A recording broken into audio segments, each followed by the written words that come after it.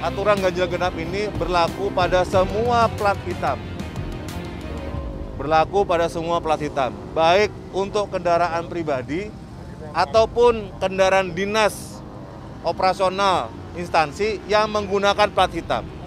Jadi kalau ada kendaraan dinas yang ingin melewati ganjil genap tidak sesuai dengan tanggalnya, silakan gunakan plat dinas yang ada. Apakah itu plat merah, plat TNI Polri, plat DPR MPR, dan plat dinas-plat dinas lainnya memang diakui oleh undang-undang. Itu dipersilakan.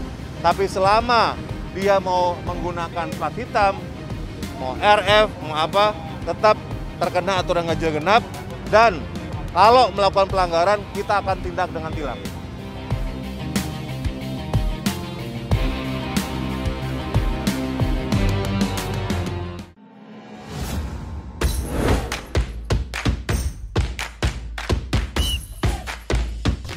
Kalau diaduk-aduk jadi cair.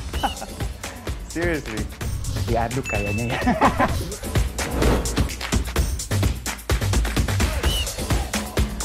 Mau perlu luar negeri gimana ya? Ini demi kemajuan bangsa Indonesia.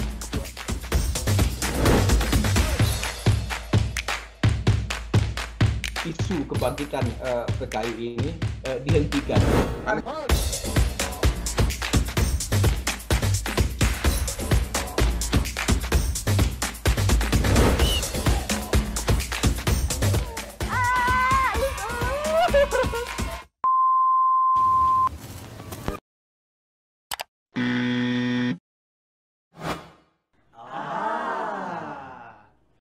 Medcom.id, a part of Media Group News.